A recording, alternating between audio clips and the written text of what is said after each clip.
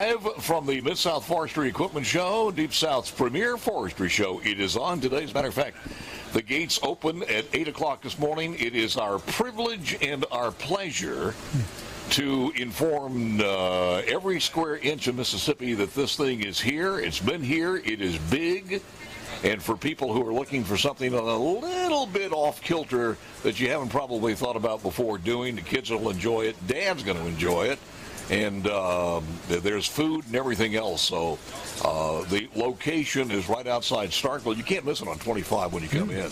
right. And the the president of the World Series champion Mississippi State Bulldogs is with us, and I haven't seen him in a while. That's President Mark Keenum. Good morning, sir. Good morning, Paul. Thank you It for is- having It me. is a pleasure seeing you, and uh, and as I mentioned before, I say I think people like to hear this. The campus looks beautiful. Thank you, Paul. There's a We're- lot of work going on to get it that way. Well, that's, you know, the first appearance when people visit our Yes. campus, we want them to come away with that wow effect, that they, that, wow, that is a beautiful campus, and we take great pride in that. So I, I'm glad you noticed. Yeah. Well, I got to ask you this though, uh, and people don't understand the after effects and the the ancillary things that happen as far as winning a world championship or a national championship like that is big deal, and and just to put that in perspective. It's huge. I, I'll just tell you, you know, I, I can't I can't emphasize how big it is for not only our university but for the entire state. Our baseball program is storied. It has long tradition, and it just validates who we are as a major, major college baseball program. And one thing interesting, Paul, immediately after our victory, uh, Fanatics indicated that Mississippi State University had an all-time record sale of College World Series merchandise within 24 hours. Yeah. And then they went on to say after just three days that Mississippi State fans bought more merchandise from our championship than the previous three champions combined within just the first 72 hours. This had a huge impact on just our licensing revenues on Yeah. our campus. I can imagine. I mean, our fans, uh, and then to see them in Omaha, the, the thousands upon thousands of fans. I mean, the, the stadium holds about 24,000. I can tell you that in that last series, we had over 20,000 Mississippi State people there uh, in Omaha, and it, it felt That's like a home game to us. It was wonderful. Seems like, and I, I don't think I'm misreading this. It was this. I don't care who you were, what uh, what jersey you wore, what school you were in, where your affiliation is. Everybody was proud. Yes.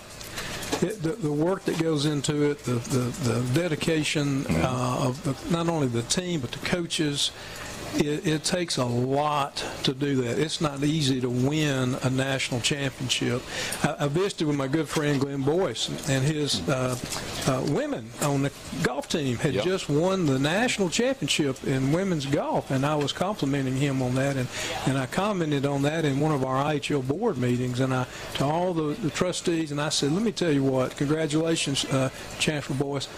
It is hard to win your nation's national championship in whatever sport it is, so well deserved. And for us, then just a few weeks later to do it in baseball, it, it's tremendous. It is. Do you get a chance to talk to the coaches that much? I mean, I, I mm-hmm. understand that they're busy, Oh, but yeah. Mike, Mike Leach, when you sit down and talk to him, do you do you come away wondering what the conversation was about? Well, usually when I'm talking to coaches, I have a purpose to talk to them Yeah. about something. Yeah. Uh, and he's very attentive when I talk to him, and, and we have very good conversations, and he acknowledges in whatever it is I'm sharing with him. In fact, I'm meeting with all the coaches next week. I do it every year. I talk to them about importance of complying with all the rules, the NCAA rules, the SEC rules, and we've got to be fair and play fair.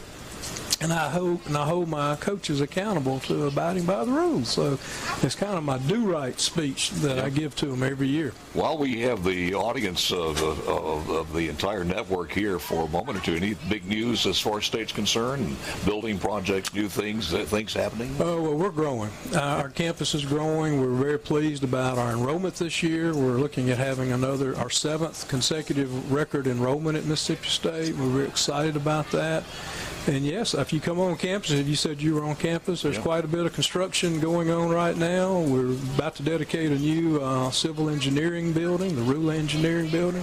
We're building a new music building right now on our campus, and we're developing plans to build a new supercomputer center on our campus because our current supercomputing center is full of supercomputers. We're thankful to the legislature for their support in allowing us to build this uh, new massive data center. And, when, and the next big project is a new kinesiology building, uh, and then a new building for our College of Architecture, Art, and Design. So, yeah, we've got a lot going on and a lot on the drawing board for continued expansion on our campus. I don't think people understand how how uh, impactful that is to research grants and everything got going on that touch everybody across the not only the, the state but in the nation. Well, you know, Mississippi State is the research university for Mississippi. We generate more than half of all the research, more than a quarter of a billion dollars a year. We're the only top 100 research university in the state. And I'm proud of what we're doing and leading the, leading the way in cutting edge research technology. Doing this a long time, I know that when and behind the scenes, and people don't hear a lot about the, this, but when you hear a new business comes in, whether it's drones or some technology or whatever it happens to be, you can you can almost be assured that somewhere in that uh, to where you got to that point, Mississippi State had some involvement in it. Well, we work hand in glove with our governor and governors before our current governor and MDA. And when we're talking to potential industries that are looking at Mississippi to locate, more times than not, either I or somebody from our university is sitting at the table and talking with them about how we can serve them and what we can bring to bear to help make them successful. Switching over to, to this big uh, function here, um, people don't realize how much Mississippi State is involved in the agricultural part of forestry. They, they never think about that. Well, I mean, we're we're we're a major player in forestry, and forestry is a, one of our largest industries Yeah. in the state. Just the the timber value at the farm gate is over a billion dollars, but when you put it through the mills and all the forest products, it's a 13 billion dollar impact a year on our state economy. And then when you bring in the wildlife aspect of hunting and fishing, Right. you can add another two billion dollars. So combined, forestry and wildlife is over fifteen billion dollars a year to our state economy. It is huge. And we're very fortunate to have such a timber-rich state Yep. that affords 61,000 Mississippians have a job in the state. 61,000 because of forestry and the timber industry. I do. Um, we were talking about a little bit earlier, and I was thinking about Alex Littlejohn when he was on with me from uh, Ducks Unlimited and, and some of these, not from the conservative uh, group, uh, and also had the um, uh, Ducks Unlimited people on. But we were talking about uh, a lot of that land is private, uh, Yeah. and, and this kind of puts it in perspective over 77% of the That's forestry. Right. So where you have forestry and land, you have that asset with Nature's Conservancy, uh, and and again another reason for that uh, the trust fund, and uh, uh, we'll talk more about that on, at a later date. But uh, they do kind of work hand in hand. Well, wildlife and fishery, and our wildlife and fishery department at Mississippi State are producing professionals to go and work and serve because it's, it's, it's helping landowners better manage for wildlife and for their fisheries, but it's also big business Yep. for our state.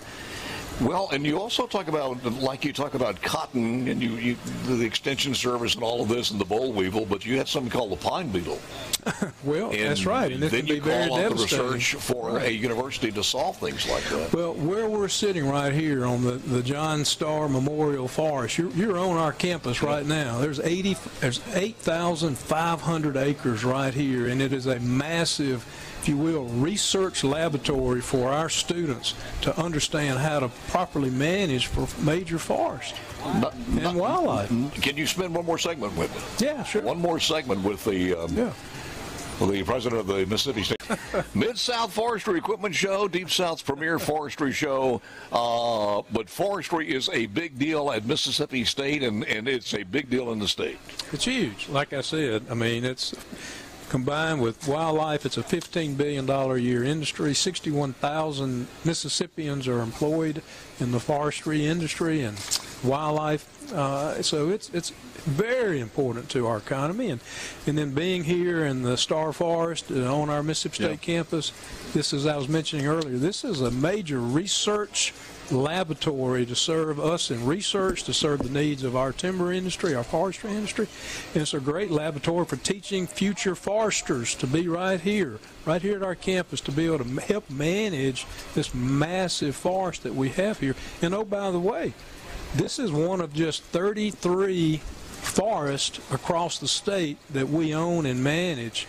We have a lot of, of, of landowners who want to make a donation to Mississippi State University, and they'll give us their land with an agreement that we'll manage it for perpetuity. We'll take the the proceeds from timber sales and apply them to scholarships for students or, that? or to faculty support. And it's a great way to make a gift to the university that's a perpetual giving gift. Uh, and, and that land that they may dearly love will always be managed and manicured by our professionals. And again, we have over 30, we have 33 different forests across the state. And um, they're called the Bulldog Forest. And so it's really beneficial for us to, to have access for research and for our students, but it benefits us as Yeah. a university.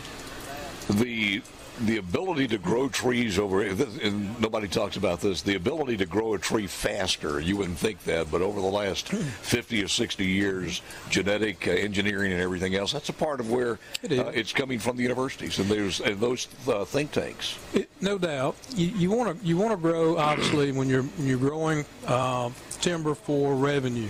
You want to grow fast, but you also have got to have a good staple tree there Yeah. that has good solid fiber to it for its use. Sometimes some of the varieties grow so fast the trees are not very good. And so, So the quality so quality has to be part of that as well. And, and so research is a big part of how you can have a fast-growing, sturdy tree Mm-hmm. that meets industry needs.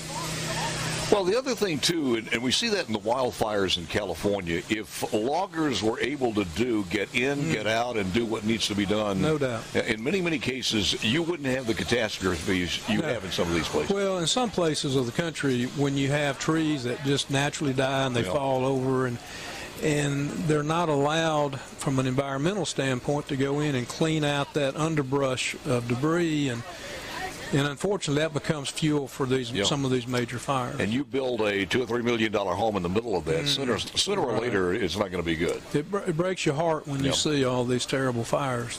What's next as far as farming is concerned, or, or agriculture in, in the state itself? Is uh, the market still look pretty good? Yeah, markets are markets are, are stable, and of course, it fluctuates from year to year. This this COVID virus has had a big impact Yeah. on a lot of things in the in the in the supply chain. Unfortunately, you've got people in the livestock industry who are getting lower prices for their livestock, Mm-hmm. But at the at the retail market, when you and I go and buy that packaged piece of beef, it's sky high. Even hamburger meat, every, meat products are going. It's all through the, the supply chain that's being disrupted, the labor supply that's being disrupted. So, the, unfortunately, the, the poor farmer who's producing at the farm gate is the one that gets the squeeze. And and then we as consumers on the receiving end, we get the squeeze and the higher prices. And, it's- and that trickles back to loggers just as well as uh, dairy Exactly, Yeah. exactly. So uh, apply it to the same same Well, you, you were hoping that, much like the university, saying that, all right, we're going to get back to normal, but uh, there are some things going to take a while. Well, you know, it is. And, you know, Mississippi State, we've got our COVID uh, uh, compliance components that we put in place to protect our students, our faculty, and and we're managing, Paul. We're managing. It's it's not perfect. We wear face coverings when we're indoors. That's uh, something that Dr. Thomas Dobbs with the Mississippi Yep. State uh, Public Health uh, directed us to do. Um, our our governing board has decided, and they voted and decided we didn't, we as universities in the state should not be required to mandate vaccinations, and that was a decision that our board made, and so we're complying with that as well. But as far as doing all we can for protocols to protect the interest of our campus, we're doing everything we can. And, I, and yeah, think about this. Uh, we, we, of course, survey our students and our employees, and I'm pleased to report that uh, 78% of our Mississippi State employees here on our Starkville campus are vaccinated, and 56% of our students Are vaccinated. Well, that's higher than some places. Oh, no, absolutely. Yeah. And and we are doing everything we can to keep that number going up. We have vaccination clinics across our campus, and we are seeing more and more and more of our students take advantage of, and we provide all types of incentives for students and employees to get vaccinated. And I think that's helping keep our COVID numbers down. Yeah. And, and to give you a comparison, um, as of yesterday, we had 114 students that were in either isolation or quarantine. Well, this time one year ago, we had 311 students in isolation or quarantine. So, yeah, I'm not happy with the 114, but I'm, I'm a lot hap- more happier with it than having 300 plus students like we were last year. I think fact that we have such a large uh, number of students, employees who are already vaccinated, plus natural immunity Yep. from those who have already contracted the virus, is helping to keep our numbers relatively low. Do you do data, some data gathering on those that the ones who are in quarantine are not vaccinated for the most part? Uh, well, if they're in quarantine, we know they're not vaccinated. They're not vaccinated. Because if you- it's not, it's not a breakthrough. Um, Because we know if you if, if you're vaccinated, Yeah. you don't have to quarantine. oh, is that right? That's correct. So they don't have it. They haven't contracted it yet, but they're just quarantined for safety purposes. That's correct. I got you. I got you. Uh, it, legislative session will be here before you know it. Anything that you want to say uh, that that, that uh, is first Well, and foremost on your mind? Absolutely. They've got a billion dollar surplus that they're starting this year with. Over a billion dollars. Yeah. And they started the month of July with over $50 million and over their, their estimate. I haven't seen the August numbers yet, but it looks really good from where we're coming into this fiscal Mm-hmm. year. And, you know, our top priority is always support for our faculty and our staff for pay raises. And so we can continue to do all the important work that we do to serve the needs of our state. And uh, we're going to keep talking with our leaders about that. And they are, like I said, they've got some money to work with this year. The Mississippi State Bulldogs on the road headed north, Yeah, play in Memphis. That's right. and um, that game is on tomorrow. What time? Three o'clock. Three o'clock uh, tomorrow. Uh, ought to be a good game. They looked pretty good last week. Well, we looked better than we did the week Yeah. before. Yeah. I was very pleased. I love, I love, uh, and I mentioned on the air, it's kind of a weird uh, uh, juxtaposition between Mike Leach and uh, some of his wisdom, trying to pass on wisdom to a guy named Will Rogers. That's right. Yeah. that dynamics, that dynamics there is, Yeah, is has a- something to behold. He has so a great name. look forward to it uh, for uh, tomorrow. Sir, as always, it is a pleasure. This is a big one. Uh, what do you think people ought to see here when they come? Oh, um, uh, just all this amazing equipment that's here, state of the art. You know, if you're if you're if you do anything in the forestry industry, and you know, this is a place to come, make great contacts. Um, obviously, there are a lot of dealers here. They want to sell you one of these nice big pieces of equipment. Yeah. But you know, it's it's a good thing. And they'll deliver it too, I'm sure. Yeah, they absolutely will. Well, here's the other thing. And I was talking to uh, Tedrick about this a little bit earlier. Those trees are right on the border of being too big to cut. Well, some some are. That's he right. said that they could handle it with no problem, but uh, for the average person, they wouldn't be cutting something quite that big. Yeah. Well, they But can. there's some massive ones. There's some massive equipment that can do about anything you want to do. It is amazing. We were talking about it earlier. We said that uh, Lewis and Clark, if they had that equipment, they'd be driving on 55 or interstate going uh, going, going out west. But Out west. It is incredible. You know, the other thing, too, uh, and I was talking to Cecil about this, and he said the guy from uh, Swamp Loggers, Hmm. uh, the uh, reality series that was on for a long time, usually came every year to this. Okay. He, he missed uh, this one because of uh, COVID, but he was talking about it. And, and I said to him, I said, you know, you get back in the middle of where they log on these logging roads, and that is a hostile environment. It is. It is just conducive of having an accident. Yeah. These guys have been working together, coordinate like a dance, and they step from the swamp into a space capsule. Uh, it is amazing the technology. It is amazing. It's absolutely amazing, and, and it is a dangerous occupation. Always good seeing you, sir. Well, thank you, Paul. You got it. Thank you for having me. Thank you for being.